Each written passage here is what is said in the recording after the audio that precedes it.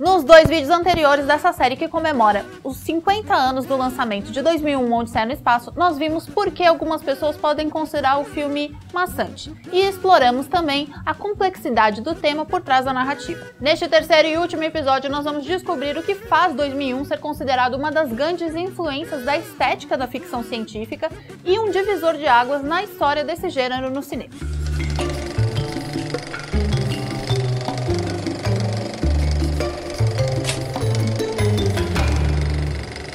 Você que nos acompanhou por todos os episódios desse especial sabe onde a gente está, né? Estamos na ESPM São Paulo, que agora está com um curso de graduação de cinema e audiovisual com uma pegada que vai além das graduações comuns. Aqui o negócio é ter um plano de estudos personalizados e além de sair entendendo de cinema, você entende também de negócio. E assim você sai pronto para diversas áreas de exploração. Você pode trabalhar em emissoras de TV, estúdios de cinema, agências de publicidade, trabalhar com jogos e multiplataformas e até ser um youtuber. Existe inclusive um professor tutor para cada aluno que está no curso, o que resulta em uma atenção especial e um aprendizado muito maior ao longo dos anos de graduação. Para saber mais é só ir no link que está na descrição do vídeo. Quando Stanley Kubrick leu o conto A Sentinela, ele entrou em contato com o autor, Arthur C. Clarke, e convidou o escritor para que os dois trabalhassem juntos em um projeto. A proposta veio por meio de uma carta em que o diretor dizia: Sempre fui um grande admirador dos seus livros e sempre quis discutir com você a possibilidade de fazer um filme de ficção científica realmente bom. É um exagero dizer que nenhum filme bom de ficção científica tinha sido feito até meados dos anos 60. A gente tem Metrópolis, que é de 27, a gente tem Planeta Proibido, que é de 56, mas o Kubrick ele não se sentia satisfeito com os filmes do gênero. Essa missão de fazer um filme de grande relevância definitivamente aumentou a exigência do diretor na criação de 2001. Na carta dele para o Arthur C. Clarke, o Kubrick destaca destaca ainda três itens na sua lista de motivações para fazer um filme de ficção científica realmente bom. 1. Um, as razões para se acreditar na existência de vida extraterrestre inteligente. 2. O impacto que essa descoberta teria na Terra em um futuro próximo. E 3.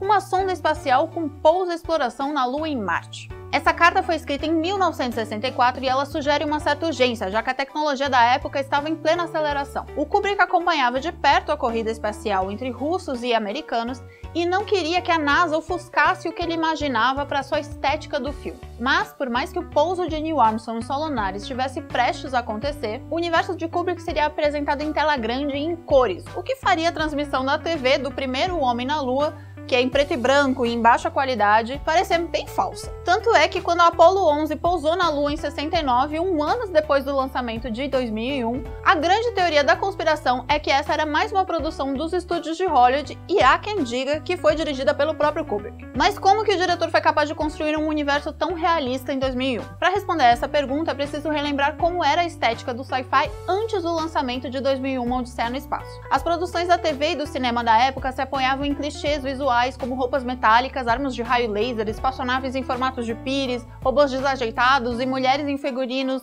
futuristas, só que sexualizados. Os produtos daquela época aumentavam a fantasia de que o futuro seria completamente diferente, por isso que eles escolhiam retratar isso de uma forma tão distoante do que é normal pra gente. Esse contraste era importante para destacar a diferença marcante entre uma sociedade futurista e a sociedade vigente. Se não fosse assim, o público podia estranhar que as pessoas do futuro eram tão comuns quanto as pessoas do presente. O exercício de imaginação do Kubrick foi então ir para um outro caminho. Ao invés de especular o futuro de quatro décadas à frente da forma mais extravagante possível, o diretor fez um exercício retroativo e comparou a sociedade de 40 anos antes, dos anos 20, com a sociedade da década de 60. A conclusão que ele chegou é que, apesar de diferenças serem significativas, os avanços sociais e tecnológicos não haviam convertido a sociedade em nada mirabolante. Sendo assim, não tinha por que retratar o mundo que a gente ia ver em 2001 como um universo excêntrico. Para isso, Kubrick optou por rupturas estéticas. Diferente da aparência de filmes sci-fi da época, como Viagem Fantástica e Barbarella, o diretor renegou o uso de cores berrantes e cenários mirabolantes. Em vez disso, ele optou por uma estética futurista que o design e a arquitetura, a decoração, a moda e a tecnologia da época sugeria. Foi assim que o filme acabou priorizando padrões geométricos e ambientes clean. E para completar esse estilo, o Kubrick optou pela predominância do branco e preferiu usar cores somente para situações que o destaque era de um cenário monocromático. O design arquitetônico dos anos 60 serviu de influência na concepção do formato das naves. Saíram os piros voadores para dar lugar a veículos espaciais que poderiam tranquilamente ter sido fabricados pela NASA. Com relação às roupas, o Kubrick negou o tecido metálico e manteve o mesmo estilo dos anos 60, com o homem de terno na parte 2 do filme e com o astronauta Frank em roupas de ginástica comum, com camiseta, bermuda, tênis. 2001 também inaugura algumas técnicas inovadoras para o cinema. Pela primeira vez, a falta de gravidade era retratada como uma leveza dos movimentos extremamente fiel à realidade. O cotidiano dos astronautas em uma espaçonave também foi representado de forma mais realista, com exercícios físicos, jogos, refeições e até instruções para como usar o banheiro. Outra coisa que impressiona é o silêncio do espaço. Ciente de que teria cenas longas e paradas, o Kubrick fez questão de fazer valer a não propagação no vácuo, o que inevitavelmente leva a momentos em que se ouve apenas ruídos de respiração dos astronautas dentro do capacete.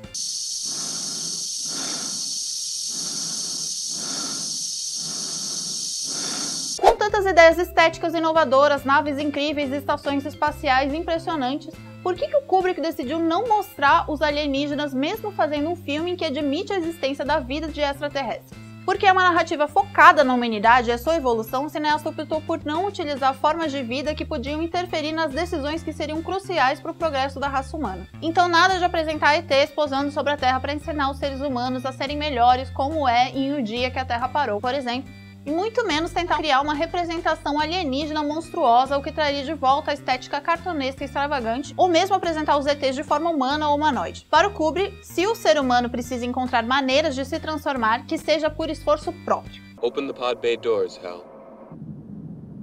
I'm sorry, Dave.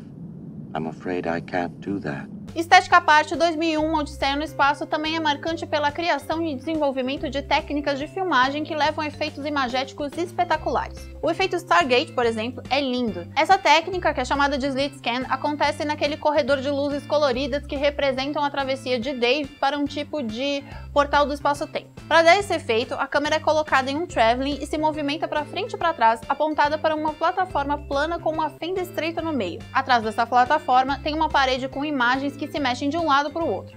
Com a câmera e a parede em movimento e com um pequeno truque de exposição da câmera, cria-se um incrível efeito de luz. O Slit Scan também é usado em outras produções, dá para ver ele numa das aberturas de Doctor Who e também nas imagens que foram usadas para representar a viagem no buraco de minhoca de Interestelar. Outra famosa técnica foi usada para criar a impressão futurista da gravidade zero no interior das naves de 2001. Esse artifício pode ser visto nas cenas em que os personagens são capazes de caminhar pelas paredes e no teto. Essa é uma forma de rotação em que a câmera gira com todo o cenário, causando o efeito que desafia as leis da física. Apesar de levar essa técnica para um outro nível, o Kubrick não foi o pioneiro na engenharia. Em 21, o Buster Keaton já tinha usado essa espécie de tambor giratório em The Boat, e 30 anos depois, em 1951, a famosa cena de núpcias reais usa o mesmo efeito para fazer Fred Astaire dançar nas paredes.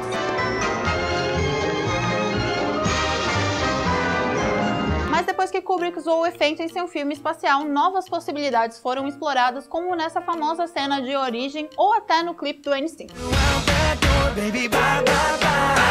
2001 Odisseia no Espaço não apenas apresentou inovações técnicas e estéticas na forma de produzir cinema, como também chamou a atenção da indústria para um gênero com uma enorme capacidade de fascinar o público. O filme é sem dúvida um marco para o sci-fi em Hollywood. Outros clássicos como Contatos Imediatos de Terceiro Grau, Alien e toda a franquia Star Wars se tornaram possíveis graças ao trabalho de Kubrick em 2001. E por causa da ousadia do diretor, o cinema continua produzindo até hoje obras que são relevantes não só no sentido técnico, como também no sentido filosófico, da gente pensar sobre a humanidade e refletir sobre a existência e continuar o nosso processo de autoconhecimento. E eu tenho certeza que você aprendeu muito com esses segredos do cinema especial de 2001, Uma Odisseia no Espaço. Então conta aí nos comentários qual outro filme que você quer que a gente explore cena a cena, que a gente avalie o significado, que a gente explique um pouco para você por que, que ele é tão importante assim. Valeu!